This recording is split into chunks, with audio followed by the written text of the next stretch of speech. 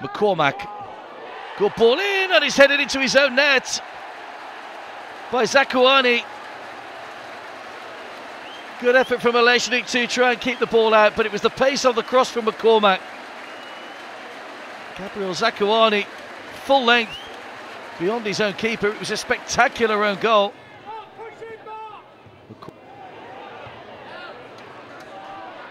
Headed out as far as Payne. Oh, what a strike from Jack Payne.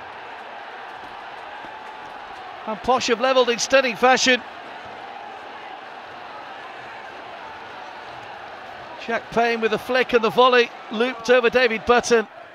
And it's 1 1.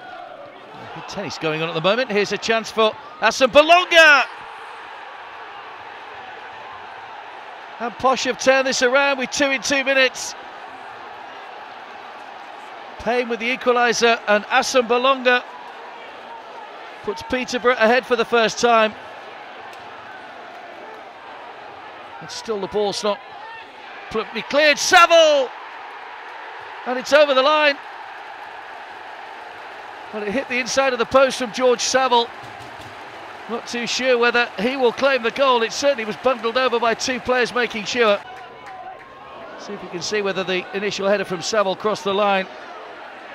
Certainly looks like it there, but two players closing in. And we're back to 2 2.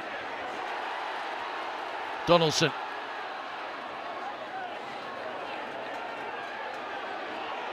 Good turn of pace by Donaldson! Fine strike. Kept it low beyond the Olejnik.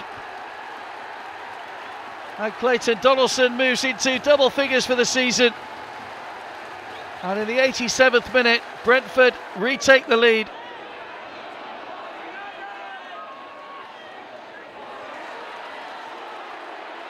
Craig bursting forward, Tony Craig, good save by Olejnik. It's a nice height for the goalkeeper, but still had to make the save.